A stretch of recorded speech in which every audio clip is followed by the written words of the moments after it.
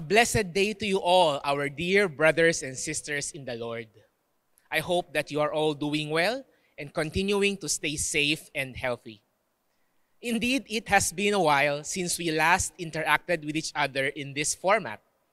Personally, I am glad to be back here in our sanctuary as we prepare this video and we worship our Lord together. Today is the second Sunday after Pentecost, and we are now entering a time in our church calendar that we call the ordinary time. So, after remembering the coming of the Holy Spirit during Pentecost, we are now celebrating the growing life of the church, us, the body of Christ, as we continue to witness for Him and live our lives for His glory. And today is also an extra special day as we are celebrating Youth Sunday, wherein we will induct our incoming officers for our youth fellowships. Indeed, there is much reason to come and worship our Lord together. Psalm 43 further gives this wonderful image of someone transformed by God through their worship. It says from verses 3 to 4, Oh, send out your light and your truth. Let them lead me let them bring me to your holy hill and your tabernacle. Then I will go to the altar of God, to God, my exceeding joy. And on the harp I will praise you, O God, my God. May this be our attitude as we proclaim to our God that He is God alone. Let us now proceed to our opening song.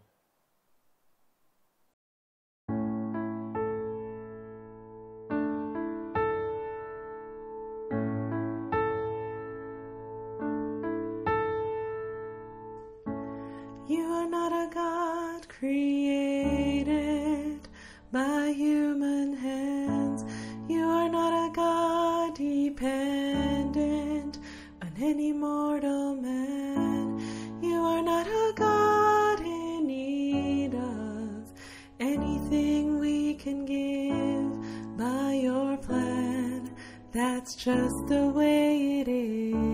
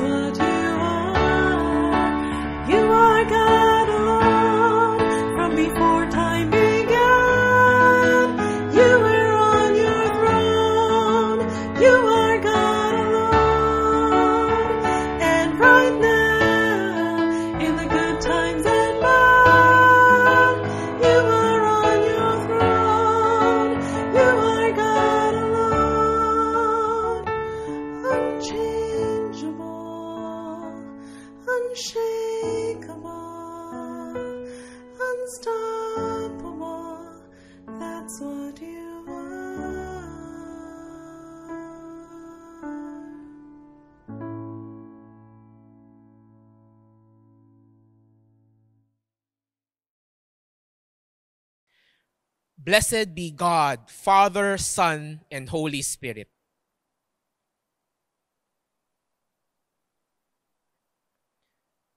Let us pray. Almighty Father, indeed you are God alone, and you are seated upon your throne in majesty and glory. We cannot hide anything from you, not our thoughts, doubts, or even our frustrations.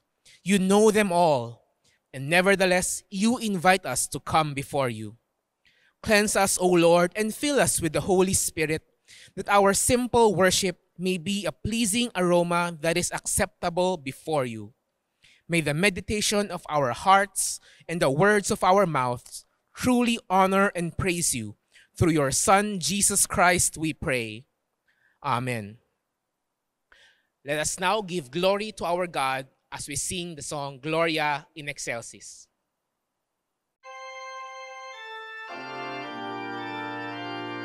Glory to God in the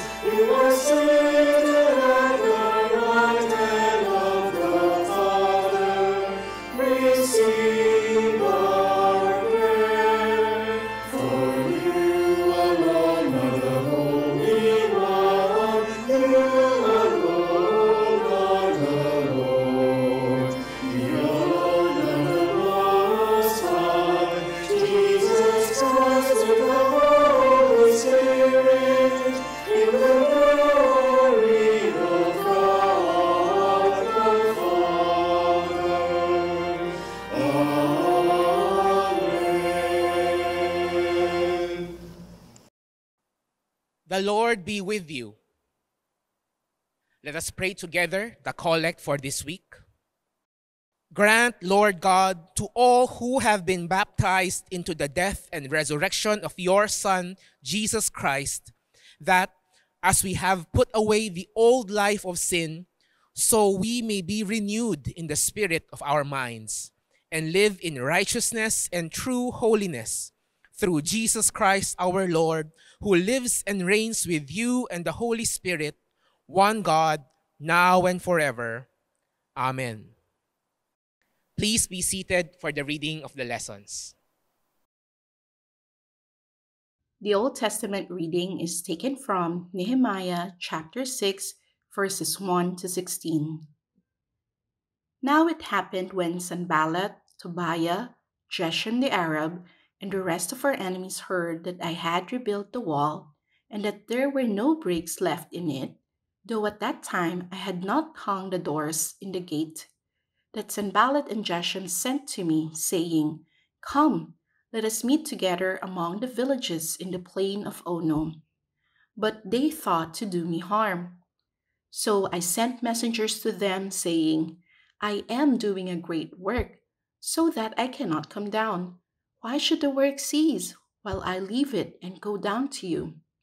But they sent me this message four times, and I answered them in the same manner. Then Sanballat sent his servant to me as before, the fifth time, with an open letter in his hand. In it was written, It is reported among the nations, and Geshem says that you and the Jews plan to rebel. Therefore, according to these rumors, you are rebuilding the wall that you may be their king. And you have also appointed prophets to proclaim concerning you at Jerusalem, saying, There is a king in Judah.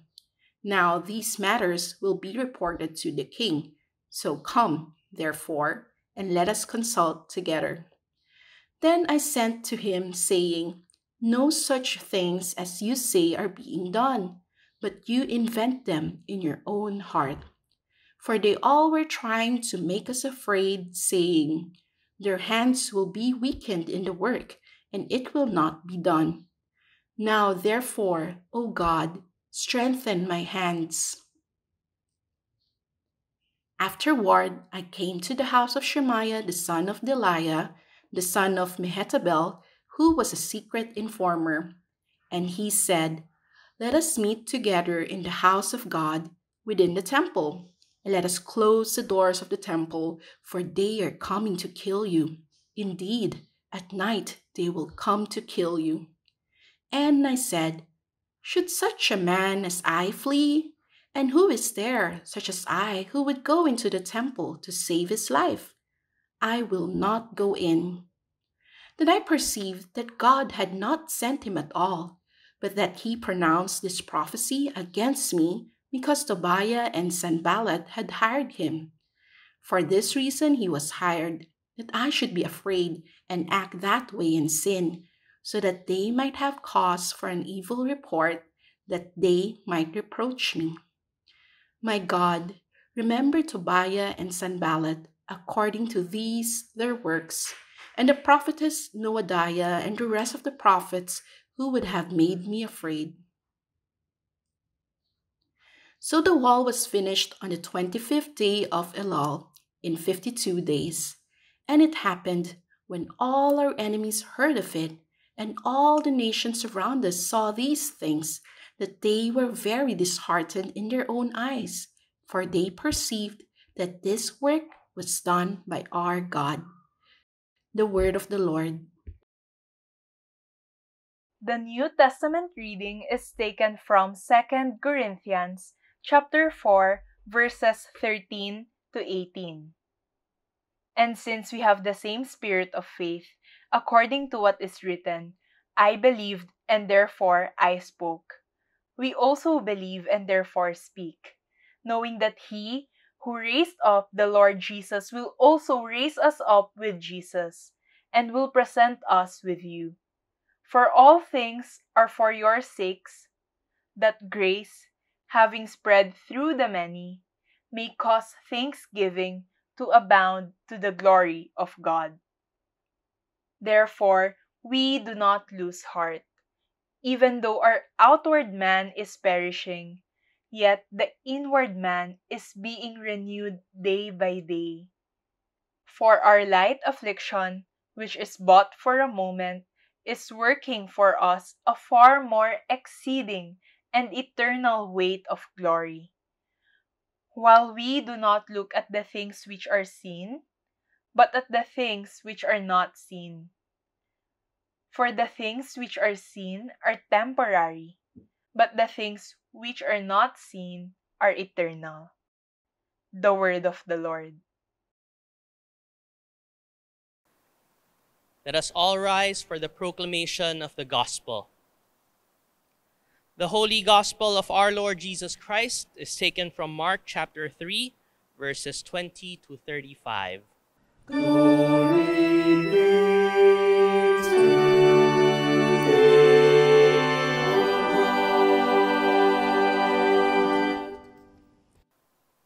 And the multitude came together again, so that they could not so much as eat bread.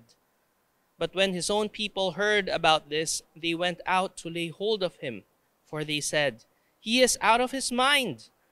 And the scribes who came down from Jerusalem said, He has Beelzebub, and by the ruler of the demons he casts out demons. So he called them to him and said to them in parables, how can Satan cast out Satan? If a kingdom is divided against itself, that kingdom cannot stand. And if a house is divided against itself, that house cannot stand. And if Satan has risen up against himself and is divided, he cannot stand, but has an end.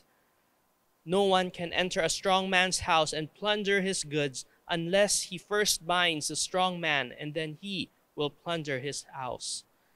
Assuredly, I say to you, all sins will be forgiven the sons of men, and whatever blasphemies they may utter. But he who blasphemes against the Holy Spirit never has forgiveness, but is subject to eternal condemnation, because they said, He has an unclean spirit. Then his brothers and his mother came, and standing outside, they sent to him, calling him. And the multitude was sitting around him, and they said to him, Look, your mother and your brothers are outside seeking you. But he answered them, saying, who is my mother or my brothers? And he looked around in a circle at those who sat about him and said, Here are my mother and my brothers. For whoever does the will of God is my brother and my sister and mother. This is the gospel of the Lord. Praise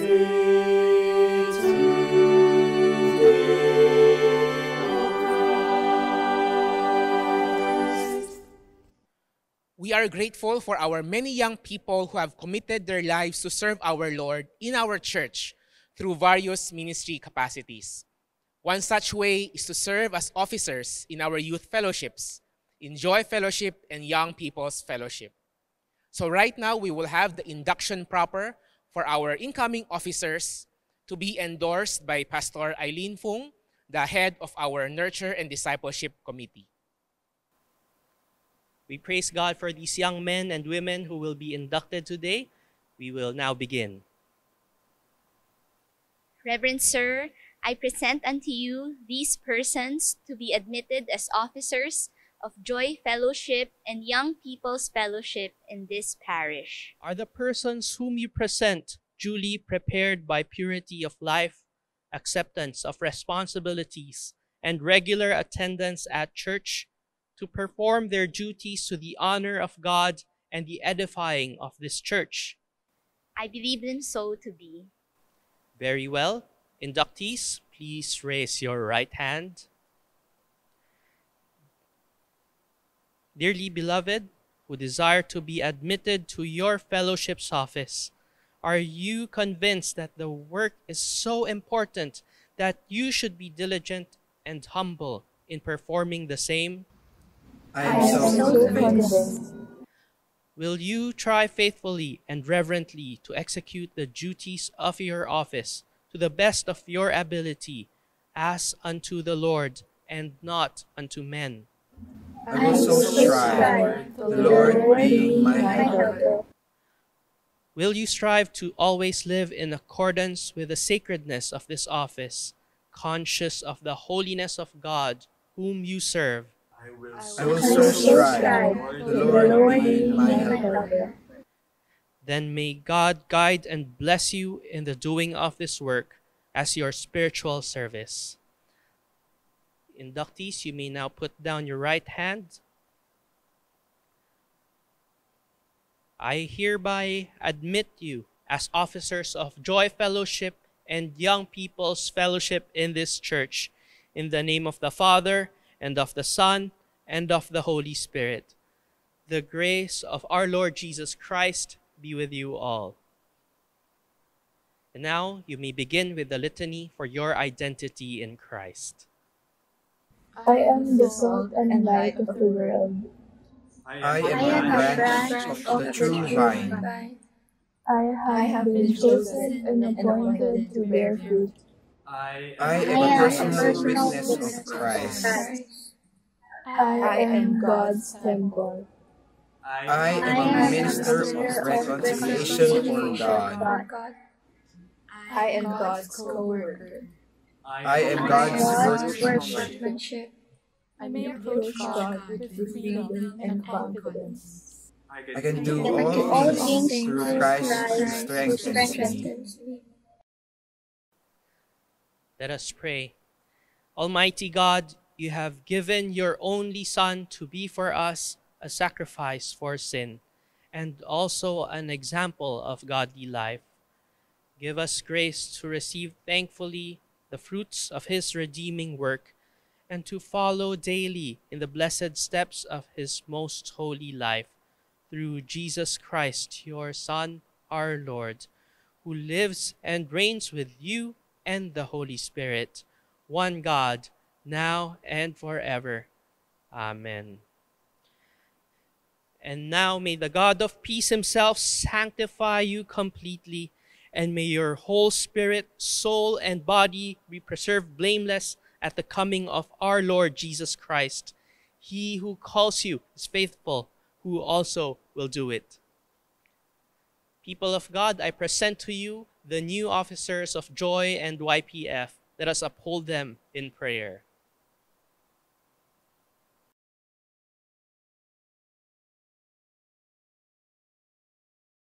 Good morning, everyone, and blessings to our inductees for this morning.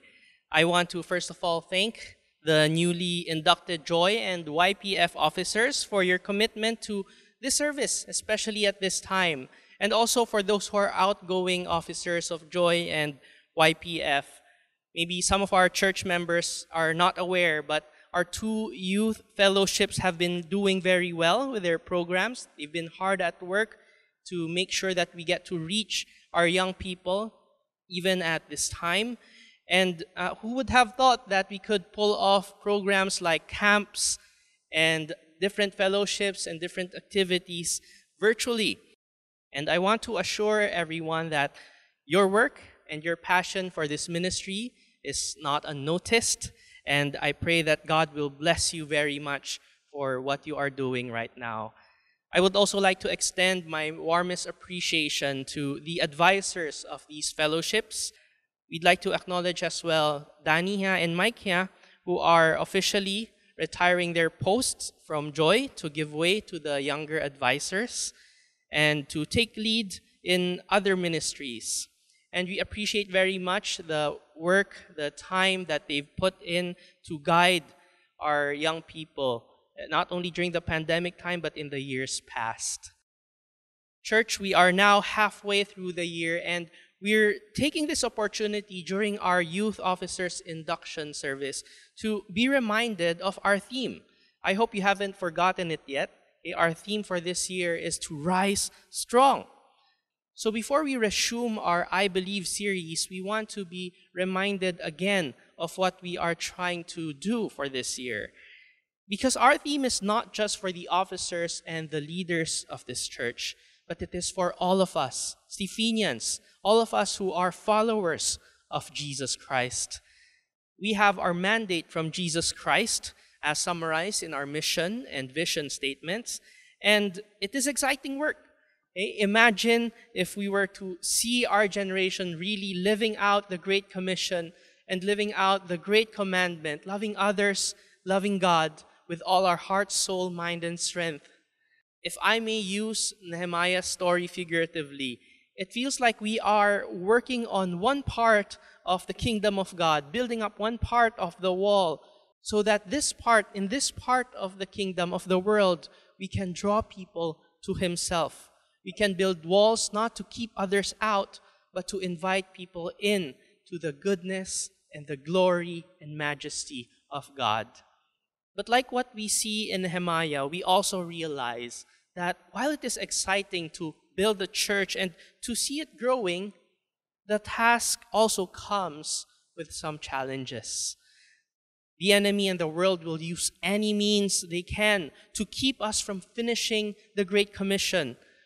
We will meet situations that are irritating, troublesome, and even threatening. In light of this, what will you do, Stephenian? What will you do, O Christian? Will you stop when, our, when we are faced with all these troubles? Should we stop? Today, I pray that we can commit to boldly go and see our mission through. I pray that we will see God's hand moving, that God is at work even at this time, and that work is actually being done. One thing I've learned in the past eight years of being in this church is that we don't stop doing things just because it is difficult or because it is troublesome. I have learned that if the task at hand is important, then we should, by all means, do everything that we can to see it through.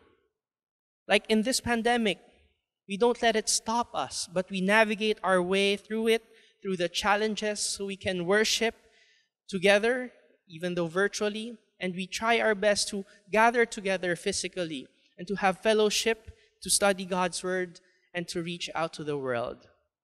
Today we are taking a look at Nehemiah chapter 6. And one thing that we learn from this passage is that attacks can be expected when we build God's kingdom in this world. You know, it's tempting to think that when we do God's work, we shouldn't be meeting challenges, that everything should be easy. Because after all, this is what God wants, right? And when we do what God wants, everything should be easy. Our path should be straight. Eh? There should be no, no trouble at all. And everything should just fall into place.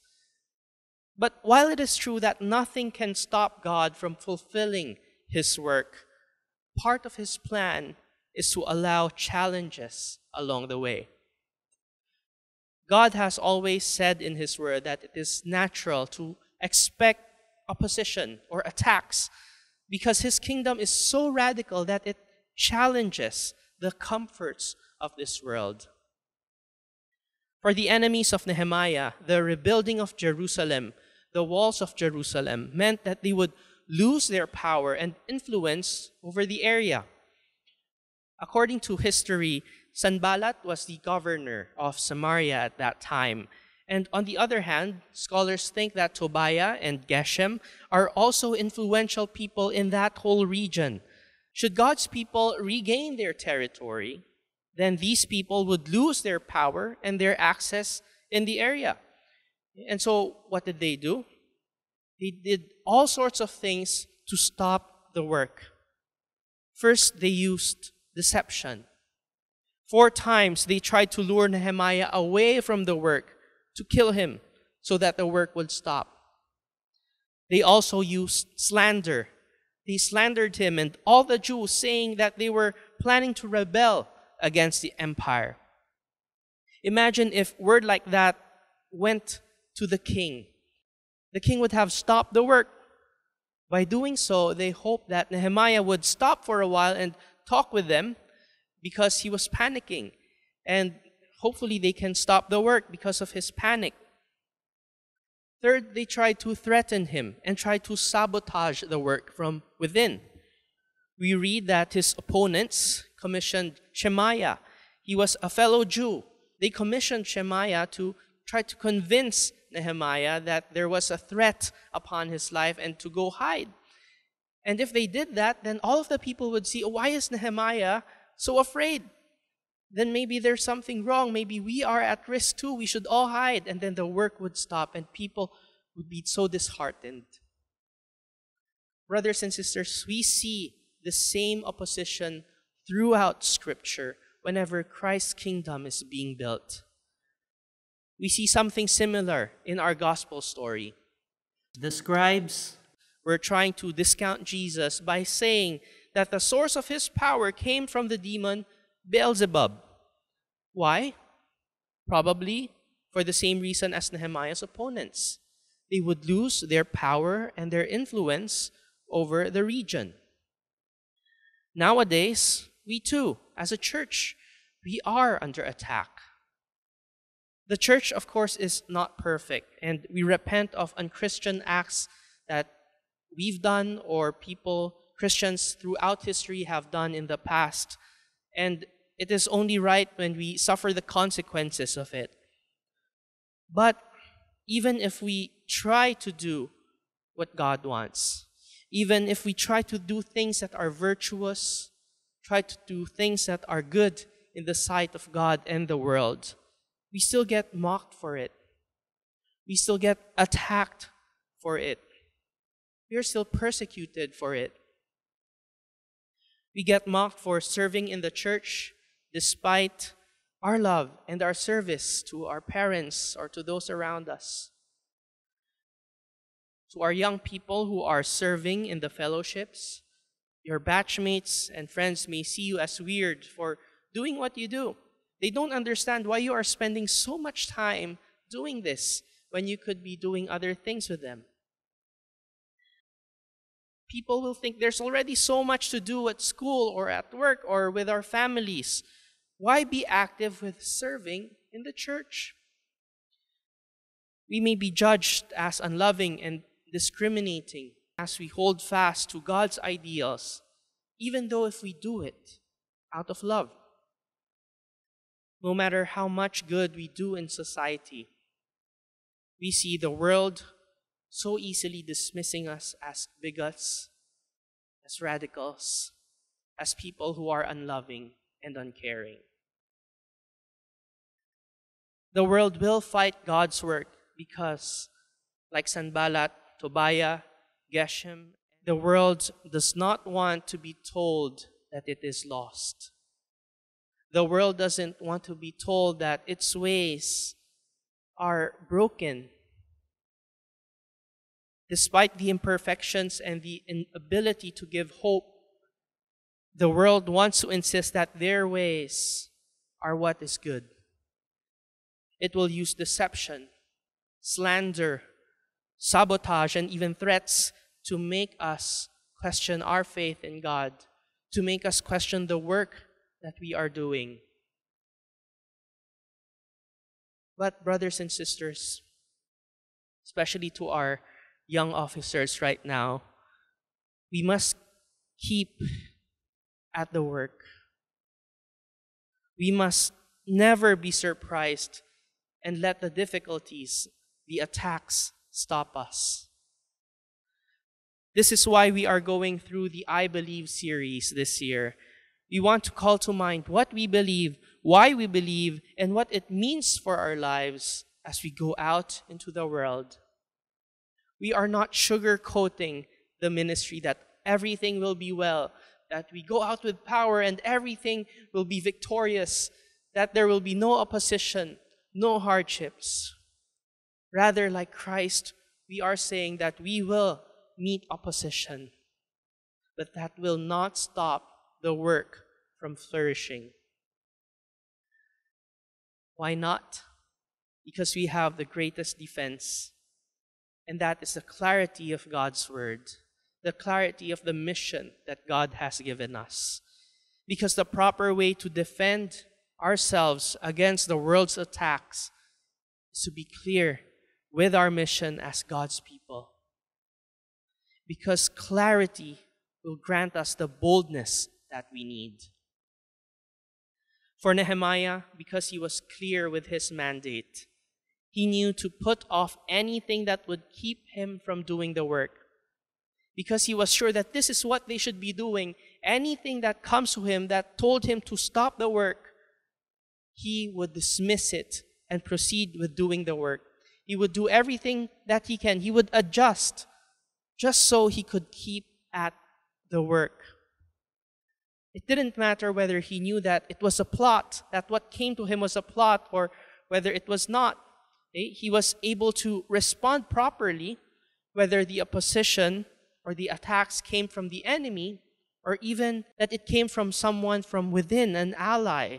He knew what had to be done, and he refused to let anything stop him. And when you think about it, that's usually the case, right? when we are sure that we are supposed to be doing something, maybe we are commanded to do so, or we know that that is part of our commitment, our responsibility, then whatever people say, we will pursue it. We will see it through. And so, to all of us and to our young officers at this time, our mandate is clear.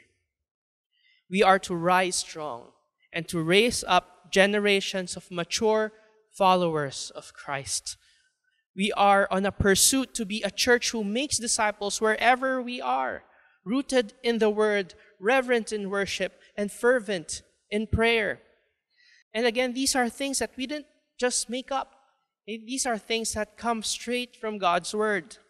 This mandate comes from Christ's own lips that he commands us to make disciples and to love God and others we are to do so with all our hearts, all our souls, our minds, and our strength. Are we living out this mandate, or are we letting the world suppress us? Are we letting our worldly desires lead us to keep making excuses? brothers and sisters, like in this pandemic, do we let it stop us, keep us from pursuing Him and pursuing the work of His kingdom? Just as Nehemiah longed to see the walls of Jerusalem rebuilt, do we long to see Christ's kingdom built up? And so, what do we do? How do we respond? We respond by keeping at the work with boldness. We have to grow in Christ likeness, both in our character, but also in our preoccupation, in the things that we do, our priorities. All of us in this church have a unique ministry.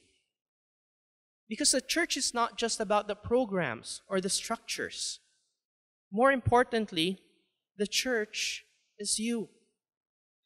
It is us in fellowship with one another. It is us fulfilling our mission together as lights of the world. To our officers of Joy and YPF, your role in our mission is to draw high school and college level seekers to the hope that we have in Jesus Christ. You have to do everything that you can so that they will see Christ in all his goodness, in all his glory, in all his beauty. All of us in this church have a unique ministry and placement to grow and to draw people to Christ and to help them to grow up in Christ. Yes, while it is true that even if we refuse to be used by God, God can find other ways of fulfilling his plans. But then, it is not an excuse. At the end of the day, what it reveals about us is our unwillingness to give God what he deserves. And so instead, like Paul, as we read in our epistle this morning, I hope that we can echo his words as well. Allow me to read to you again what our epistle says, starting from verse 16. Paul says, Therefore, we do not lose heart. Even though our outward man is perishing, yet the inward man is being renewed day by day. For our light affliction, which is but for a moment, is working for us a far more exceeding and eternal weight of glory while we do not look at the things which are seen, but at the things which are not seen. For the things which are seen are temporary, but the things which are not seen are eternal. Brothers and sisters, Stephenians, the Israelites were called back to rebuild the city. Today, Christ invites us to build his church, His great city. We praise God very much for these young people who have set the example to work for God, to serve in His kingdom. And we thank God for the many leaders and servers who have labored and endlessly served during this pandemic. But this question is not just for them. This is for all of us who are following Jesus Christ, for all of us who claim to be children of God. Will you commit to building up His church? Will you rise strong with all of us? You know, like Nehemiah's experience, the journey may be cumbersome. And when you think about it, it may seem troublesome. But the work itself, it's not. The work itself and its end goal to glorify God and to build up His church is something that we must long for, something that we long to see in our lifetime. So let me close by briefly adding this motivation from 2 Corinthians chapter 5 verse 14. It's a very familiar verse to many of us. In defending his ministry, Paul declares, For the love of Christ compels us. because we may be clear with our mission and our vision. And it gives us boldness and confidence about what we should do. But to push us to do it, to make us stand up, to arise and to rise strong and do it, our motivation should be the knowledge that Christ loves us. That as you remember the cross, as you remember Christ coming to save us and loving us and going through all of that, then that is our motivation to go with boldness as we clearly see the path that we have to do. So, as we continue with our I Believe series next week, may we not only be clear of our mission and our mandate, but may we also be motivated by God's love for us so that we may see the Great Commission fulfilled in our lifetime. God bless.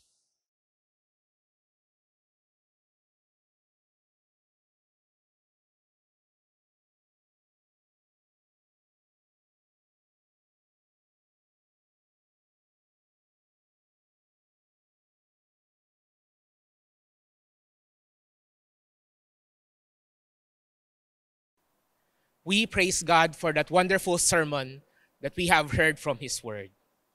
In response, let us now declare what we believe using the Nicene Creed. So, church, what do we believe? We believe in one God, the Father, the Almighty, maker of heaven and earth, of all that is seen and unseen. We believe in one Lord, Jesus Christ, the only Son of God, eternally begotten of the Father, God from God, light from light, true God from true God, begotten, not made, of one being with the Father. Through him all things were made. For us men and for our salvation, he came down from heaven. Conceived by the Holy Spirit, he became incarnate from the Virgin Mary and was made man. For our sake, he was crucified under Pontius Pilate. He suffered death and was buried. On the third day, he rose again in accordance with the scriptures. He ascended into heaven and is seated at the right hand of the Father. He will come again in glory to judge the living and the dead, and his kingdom will have no end. We believe in the Holy Spirit, the Lord, the giver of life, who proceeds from the Father and the Son. With the Father and the Son, he is worshiped and glorified. He has spoken through the prophets. We believe in one holy Catholic and Apostolic Church. We acknowledge one baptism for the forgiveness of sins. We look for the resurrection of the dead and the life of the world to come. Amen. As today is the first Sunday of the month, we will use this time to remind ourselves again of our church mission and vision statements. So, first, let us proclaim what we are to do as a church by declaring the mission statement together. To raise up generations of mature followers of Christ, to be salt and light in the world, who will love God, love others, and make disciples. And how do we want to impact our community and fulfill our mission? Let us declare our vision statement together. SSP envisions to impact its community through members who are diligent in making disciples wherever they are, rooted in the Word, reverent in worship, and fervent in prayer. Please kneel if able or sit as we will proceed to the prayers of the people to be led by members of Joy and Young People's Fellowship. For the Church. Gracious Father, we pray for your holy Catholic or universal Church, filled with all truth, in all truth, with all peace. Where it is unclean, purify it. Where it is in error, direct it. Where in anything it is amiss, reform it. Where it is right, strengthen it. Where it is in want, provide for it. Where it is divided, reunite it. For the sake of Jesus Christ, thy Son, our Savior. Amen. For the good use of time. O God, in this course of this busy life, give us times of refreshment and peace. Grant that we may use our leisure time to rebuild our bodies and renew our minds, that our spirits may be open to your goodness. and in response, enable us to serve you more. Through Jesus Christ our Lord. Amen. For the right use of God's gift. Almighty God, whose loving hand has given us all that we possess, grant us grace that we may honor you with what we have, and remembering that one day we must give an account, may we be faithful stewards of your blessings. Through Jesus Christ our Lord. Amen. For those who influence public opinion, Almighty God, you proclaim your truth in every age through many voices. Direct in our time, we pray, that those who exercise influence in the sphere of public opinion may do their part in making the hearts of people wise, their minds sound, and their will righteous. To the honor of Jesus Christ our Lord. Amen. For the gainful employment of those in need. Heavenly Father, we remember before you those who suffer anxiety and insecurity from lack of work. Guide the people of this land use both public and private wealth wisely, that all may find suitable and fulfilling employment and receive just compensation for their labor. To Jesus Christ our Lord. Amen. For the preservation of God's creation. Almighty God, in giving us dominion over things on earth, made us fellow workers in your creation. Give us wisdom to use our natural resources responsibly, so that no one may have to suffer for our them. And that generations yet to come may continue to praise you for your abundant blessings. Through Jesus Christ our Lord. Amen. For young persons, God, our Father, you see your children growing up in an unsteady and confusing world. Reveal to us how your ways give more life than the ways of the world. That following you is better than chasing after selfish goals. Help us to take failure not as a measure of our worth, but as a chance for a new start. Give us strength to hold our faith in you and to keep alive our joy in you, and to always appreciate your gifts of family, friends, church, and a good education through Jesus Christ our Lord. Amen. For all parents, Almighty God, giver of life and love, grant our parents wisdom and devotion in the management of their lives, that each may be to the other a strength in need, a counselor in perplexity, a comfort in sorrow, and a companion in joy. And so knit and their wills together in your will, and their spirits in your spirit that they may nurture a harmonious life together in love and peace all the days of their life. Through Jesus Christ our Lord. Amen. For guidance. Direct us, O Lord, that in our endeavor to learn and be trained up in character, wisdom, and responsibility, we may receive your most gracious favor. Help us that in all the things which we have begun, continued, and ended, we may glorify your holy name. And finally, by your mercy, that we may obtain everlasting life. Through Jesus Christ our Lord. Amen.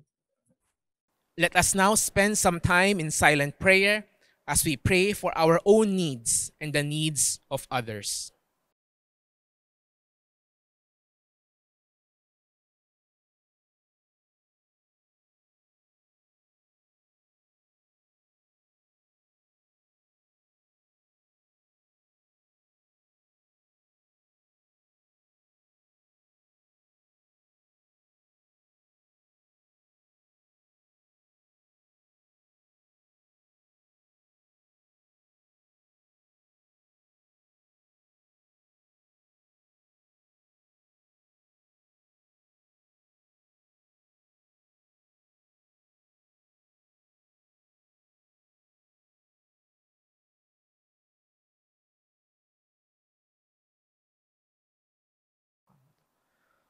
O Lord our God, accept the fervent prayers of your people, especially the petitions of our youth. In the multitude of your mercies, look with compassion upon us and all who turn to you for help. For you are gracious, O lover of souls, and to you we give glory, Father, Son, and Holy Spirit, now and forever. Amen. Hebrews chapter 4 reminds us this. Since we have a great high priest who has passed through the heavens, Jesus, the Son of God, let us with confidence draw near to the throne of grace that we may receive mercy and find grace to help in time of need. With this assurance, let us boldly and humbly come before our Lord and confess our sins to Him using the prayer of confession. Let us pray together. Most merciful God, we confess that we have sinned against you in thought, word, and deed, by what we have done and by what we have left undone. We have not loved you with our whole heart. We have not loved our neighbors as ourselves. We are truly sorry and we humbly repent. For the sake of your Son, Jesus Christ, have mercy on us and forgive us, that we may delight in your will and walk in your ways, to the glory of your name. Amen. Behold the mercy of our God. Almighty God, have mercy on you, forgive you all your sins through our Lord Jesus Christ, strengthen you in all goodness, and by the power of the Holy Spirit, keep you in eternal life. Amen. In preparation to remember the Holy Eucharist, let us pray together the prayer of humble access. Most merciful Lord, we do not trust in our own merits to come to your table, but in your boundless grace. You have invited us to come to the table of the kingdom of heaven. Help us to partake of the body and blood of your loving Son, Jesus Christ, that we may evermore live in him and he in us. Amen. Let us now stand for the peace. Our Lord Jesus Christ says, Peace I live with you, my peace I give to you, not as the world gives, do I give to you. The peace of the Lord be always with you. If you are watching together as a family, you may use this time to share the peace of the Lord with one another. If you are watching alone, I extend the peace of the Lord with you. Psalm 50, verse 14, gives us this reminder Offer to God a sacrifice of thanksgiving and make good your vows to the Most High. In place of our usual practice, we will give to the Lord a song of offering, reminding ourselves to know, love, and serve our Lord. Let us proceed to sing this song.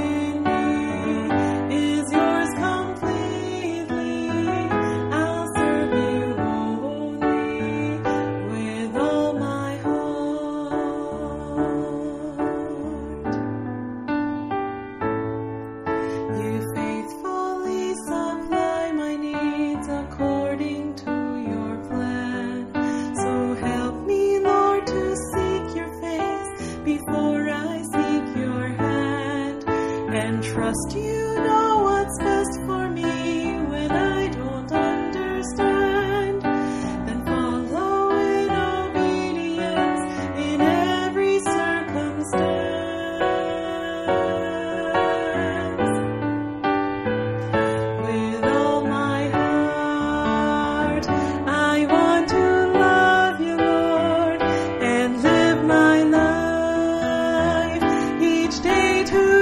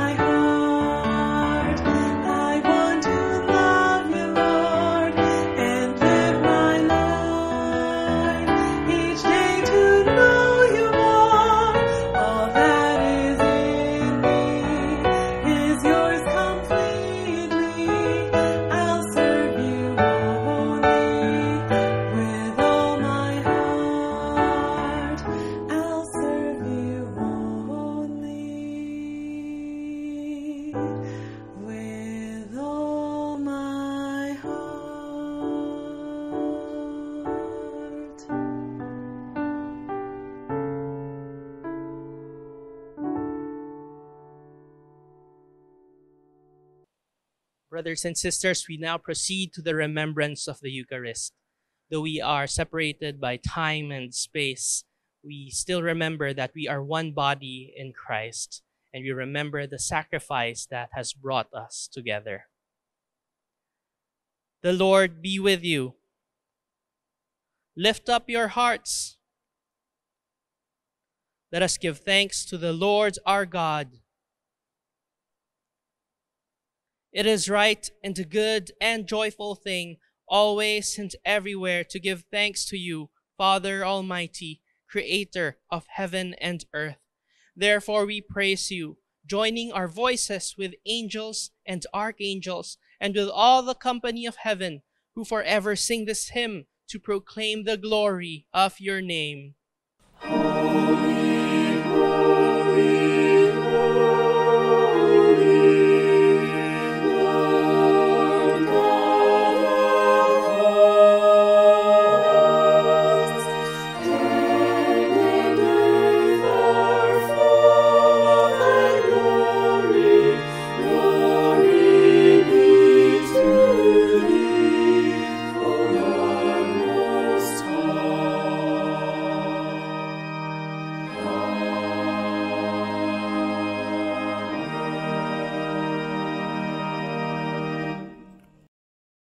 Please kneel for this portion or please be seated. Holy and gracious Father, in your infinite love, you made us in your image. And when we fell into sin and became subject to evil and death, you, in your mercy, sent Jesus Christ, your only and eternal Son, to share our human nature, to live and die as one of us. He stretched out his arms upon the cross and offered himself in obedience to your will, a perfect sacrifice for all mankind to reconcile us to you, the God and Father of all. On the night he was betrayed, our Lord Jesus Christ took bread, and when he had given thanks to you, he broke it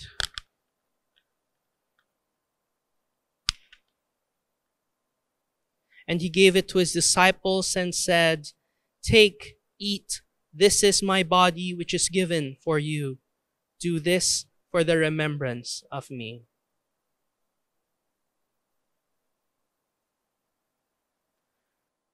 After supper, he took the cup of wine, and when he had given thanks, he gave it to them and said, Drink this, all of you. This is my blood of the new covenant, which is shed for you and for many for the forgiveness of sins. Whenever you drink it, do this for the remembrance of me.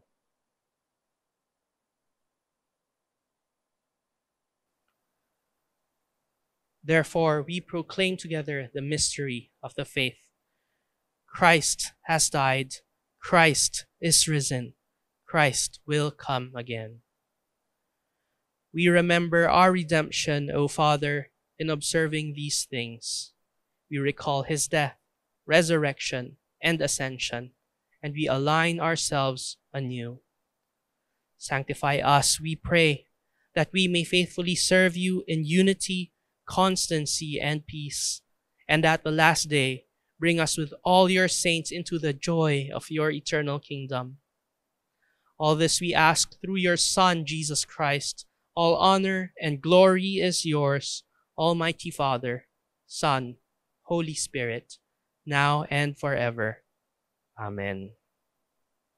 As our Savior Christ has taught us, we now pray. Our Father, who art in heaven, hallowed be thy name. Thy kingdom come, thy will be done, on earth as it is in heaven. Give us this day our daily bread, and forgive us our trespasses as we forgive those who trespass against us. And lead us not into temptation, but deliver us from evil. For thine is the kingdom, and the power, and the glory, forever and ever. Amen. Let us now take this time to tell God our thoughts in reflection of what Christ has done for us.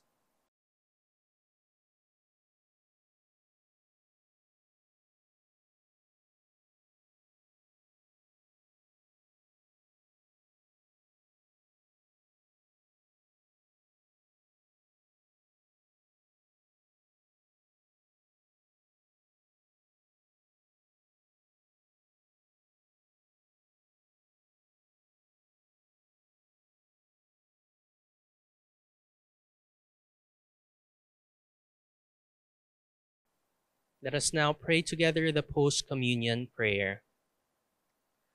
Eternal God, Heavenly Father, you have graciously accepted us as living members of your Son, our Savior, Jesus Christ, and you have been feeding us with spiritual food in the sacrament of his body and blood.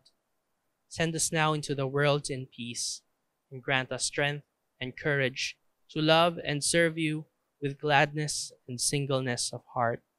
Through Christ our Lord. Amen. And now receive the Lord's blessing. To God, who is able to do exceedingly abundantly above all that we ask or think, according to the power that works in us, to him be glory in the church by Christ Jesus throughout all ages, world without end. And the blessing of God Almighty, the Father, the Son, and the Holy Spirit be with you all, now and always. 各管专定的上帝、上帝、圣经、圣灵，祝福可定得高永远。Amen. Please be seated first for some announcements. I hope that our Lord was pleased with that worship that we offered Him today. We would like to request that we keep our youth officers in our prayers as they continue to serve through Joy and YPF. Indeed, it is not easy to continue to prepare and execute programs when we are constrained in this uh, virtual setup. Nevertheless, just like most of our ministries, we press on and we persevere, depending on the grace of our Lord and the empowerment of the Holy Spirit. We would also like to inform our church members of the passing of Mr. Benito Kuuigam. He has passed away from a ripe old age of 96, and the family will have a memorial service for him today at 10 o'clock a.m. We have made the Zoom details available on your screen. Additionally, as was announced last week, I would like to remind everyone regarding the update of our membership information. This is to update our church records and will serve as our registration for the upcoming vestry election this year, should we choose to use an alternative method of election. So if you have not done so, we advise all our baptized and confirmed members to go to our website and click on the banner in order to provide your latest information. Should you have any questions or concerns, feel free to get in touch with us through our church office. So may we be filled with the grace and strength of our Lord as we go forth this week to proclaim His name and to live our lives for His glory. Let us all continue to be channels of God's grace to the people around us. So may we be filled with the grace and strength of our Lord as we go forth this week and live our lives for His glory. Let us continue to be channels of God's grace to the people around us. Let us now stand for our closing song as we are reminded to live our lives as an offering for Christ our King.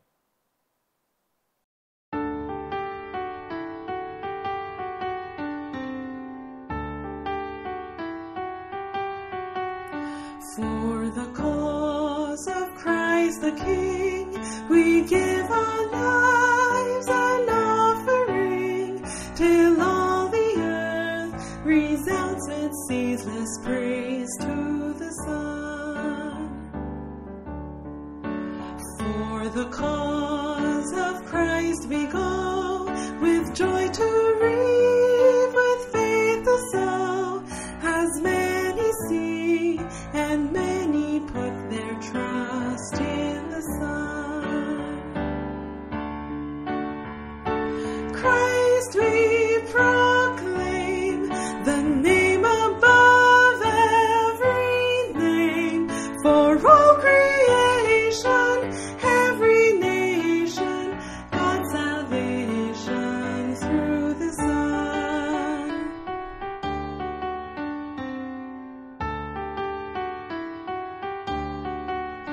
For the King once lifted high to cries of rage of crucify,